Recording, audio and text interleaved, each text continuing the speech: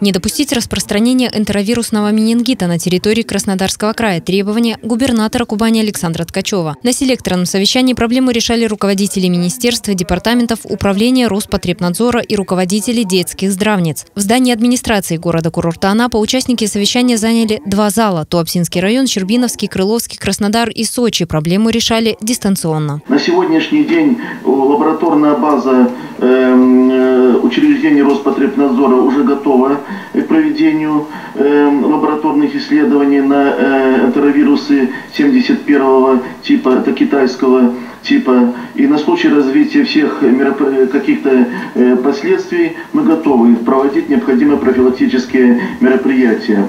Энтеровирус 71 типа, его называют китайским. Мишенью выбирает детей до 10 лет, но болеют и взрослые. Вирус передается стандартно воздушно-капельным путем и прячется за симптомами ОРВИ и отравления. Главная задача – распознать вовремя и при первых симптомах недомогания обратиться к врачу. Самолечение в таком случае опасно. Сегодня на Кубани отдыхают более 35 тысяч детей. Ежегодно приезжают до 13 миллионов отдыхающих. Для профилактики распространения инфекции проводят вакцинацию. Работают все специалисты Кубани. СМИ сообщают о мерах профилактики руководителей Руководители здравниц и детских лагерей контролируют ситуации на месте. Обследуют детей утром и вечером, назначают круглосуточное дежурство медработников. Специалисты службы Роспотребнадзор контролируют продукты и работу пищеблоков. Во всех образовательных учреждениях у нас были проведены рабочие совещания.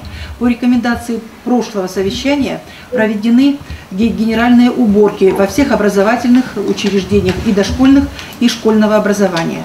При открытии долов на, э, на базе образовательных учреждений также были, были проведены рабочие совещания с медицинскими работниками, которые работают в долах. Входной контроль осуществляется за детьми как на базе детских э, дошкольных образовательных учреждений, также осуществляется входной контроль и на базе образовательных учреждений школьных. Оценка работы анапчан отлично, слажно, четко и примерно для других районов. В Анапе усилен контроль во всех дошкольных учреждениях и здравницах, организовано медицинское сопровождение прибывающих на работу или отдых. Менингит в Ростовскую область завезли, скорее всего, из Китая, считает главный санитарный врач страны Геннадий Онищенко. Поэтому сейчас на Кубани под особым контролем все аэропорты и вокзалы. В крае готовятся. На случай вспышки готовы почти 4,5 тысячи мест. Ежедневно проходят занятия с медработниками и персоналом детских учреждений. И если с учреждениями все понятно и организована работа, опасения вызывают неорганизованные группы туристов, отдыхающие с детьми, проживающие дикарями. Для такой категории тоже проведут профилактику. Беспризорных детей и детей-сирот в ближайшее время также вакцинируют. Напоминаем анапчанам и гостям курорта. Энтеровирусный менингит распространяется по воздуху, воде и при контакте с зараженным. Врачи рекомендуют чаще проветривать помещение, мыть руки и, главное, укреплять иммунитет. Наталья Пухальская, Роман Карпов, Анапа регион.